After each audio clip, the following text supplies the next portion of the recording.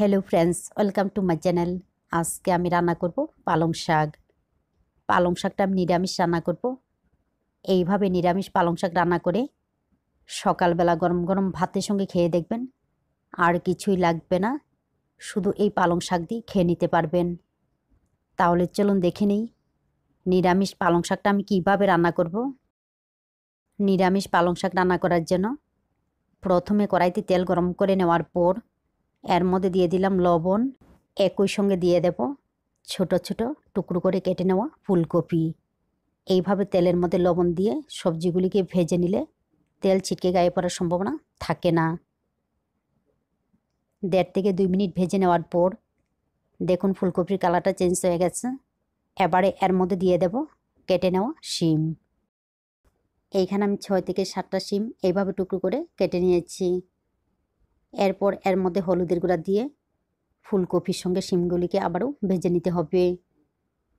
তবে শিমগুলিকে বেশি সময় নিয়ে ভেজে নিতে হবে না। শিমের কাঁচা গন্ধ চলে যাওয়া পর্যন্ত হালকা একটু ভেজে নিলে হয়ে যাবে। প্রায় এক মিনিটের মতো কম আছে ফুলকপির সঙ্গে শিমগুলিকে ভেজে নেওয়ার পর এখন আমি এইগুলিকে নামিয়ে নিচ্ছি। আবারও কড়াইতে দিয়ে দেব তেল। তেলের পরিমাণটা একটু বেশি ব্যবহার করলাম, কারণ একই তেলের মধ্যে আমি শাকটা রান্না করে নেব। তেল গরম হয়ে গেলে এর মধ্যে দিয়ে দেব টুকরো করে কেটে নেওয়া বেগুন।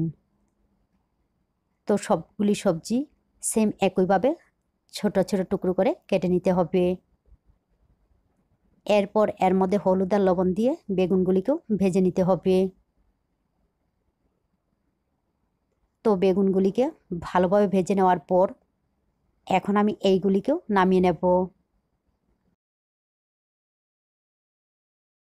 বেগুন ভাজার তেলের মধ্যে দিয়ে দিলাম তিনটা শুকনা লঙ্কা। একই সঙ্গে দিয়ে দেব কয়েক দানা মেথি। মেথি ফোড়নটা যদি পছন্দ না করেন তাহলে কালো জিরা ফোড়নও কিন্তু ব্যবহার করতে পারেন।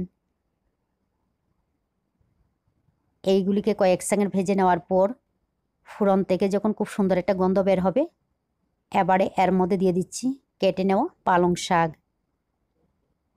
এইখানে আমি পাঁচশো গ্রাম পালং শাক ভালোভাবে ধুয়ে তারপর কেটে নিয়েছি। একই সঙ্গে দিয়ে দিলাম হলুদের গুঁড়া। দিয়ে দেব মাঝখান দিয়ে কেটে নেওয়া কাঁচা লঙ্কা, হাফ চা চামচ আদা বাটা। তবে কাঁচা লঙ্কাটা ঝাল বুঝে ব্যবহার করবেন। একই সঙ্গে দিয়ে দেব লবণ। লবণের পরিমাণটা কম দিতে হবে, যেহেতু সবজি বাজার সময় লবণ দেওয়া আছে, আর শাক কিন্তু মজা অনেকটাই কমে যাবে। তো দেখুন, এইগুলিকে নাড়াচাড়া করে নেওয়ার পর শাকটা কিন্তু অনেকটাই মজে গেছে। এখন আমি এইগুলিকে ডাকনা দিয়ে রান্না করব। তবে চুলা রাসটা বাড়িয়ে দিয়ে রান্না করবেন, তাহলে শাক থেকে যে জল বের হবে, এই জলটা কিন্তু তাড়াতাড়ি শুকিয়ে যাবে। তো পাঁচ থেকে ছয় মিনিট ডাকনা দিয়ে রান্না করে নেওয়ার পর দেখুন, শাকের মধ্যে যে জল ছিল, জলটাও কিন্তু শুকিয়ে গেছে। তো পালং শাক রান্না করার সময় শাক থেকে যে জল বের হবে এই জলগুলিকে কিন্তু ভালোভাবে শুকিয়ে নেওয়ার পর আগে থেকে ভেজে নেওয়া সবজিগুলি দিতে হবে। বেগুনটা পরে ব্যবহার করব। এই সময়ের মধ্যে দিয়ে দিলে ফুলকপি, শিম সিদ্ধ হওয়ার আগেই বেগুনটা বেশি নরম হয়ে যাবে, তখন কিন্তু ভালো লাগবে না। শাকের সঙ্গে সবজিগুলিকে মিশিয়ে নেওয়ার পর কম আঁচে ডাকনা দিয়ে রান্না করব। আবারও ছয় থেকে সাত মিনিট কম আঁচে ডাকনা দিয়ে রান্না করে নেওয়ার পর সবজিগুলি ভালোভাবে সিদ্ধ হয়ে গেছে। এবারে এর মধ্যে দিয়ে দেব আগে থেকে ভেজে নেওয়া বেগুন। দিয়ে দেব হাফ চা চামচ চিনি। নিরামিষ শাকের মধ্যে চিনিটা ব্যবহার করবেন। চিনিটা দিলে ভালো লাগে। তবে বেগুন সিদ্ধ হতে সময় লাগে না। বেগুন ভাজার সময় কিন্তু সিদ্ধ হয়ে যায়। এইগুলিকে মিশিয়ে নিয়ে আবারও এক থেকে দেড় মিনিট ভেজে নেব।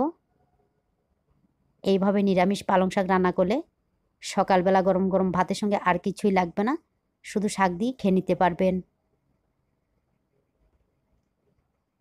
প্রায় এক থেকে দেড় মিনিট ভেজে নেওয়ার পর আমার শাক রান্না সম্পূর্ণ রেডি এইভাবে পালং শাক রান্না করে খেয়ে দেখুন ভালো লাগে। ভালো লাগলে অবশ্যই লাইক শেয়ার এবং সাবস্ক্রাইব করবেন।